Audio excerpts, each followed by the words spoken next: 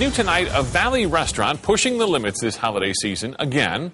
On the menu, reindeer. ABC 15's Tim Vetscher is live in Tempe. And Tim, this is the same restaurant that put rabbit on the menu for Easter. Yeah, Stephen, you might remember there were some people out there who weren't too happy about that. Reindeer may trigger the same reaction, but the restaurant plans to serve it regardless.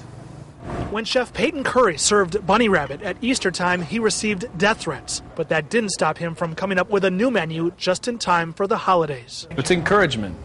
So, um, you know, it's a way for us to, uh, to build our clientele base one way or another. To coincide with Christmas, Caffe Boa will offer several reindeer themed dishes, including caribou tartare and caribou tongue bruschetta, among others. I've got family in Alaska that, um, you know, sends me caribou every year around this time of year, and we thought it'd be a great idea to, to do a little reindeer menu. You know, my wife and I have been to Finland and in the Scandinavian countries where, you know, this time of year it's just a delicacy. The restaurant expects to receive some negative feedback, just like last time, but on neighboring Mill Avenue, people seemed open to the idea. I think it's interesting. I think that we should be able to try whatever meat we want to.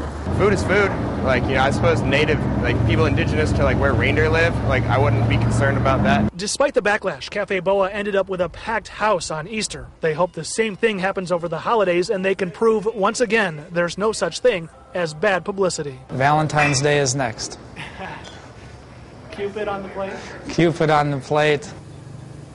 And just to be clear, you can't get reindeer just yet. They plan to start serving it on the 21st of this month. It will remain on the menu through January 4th.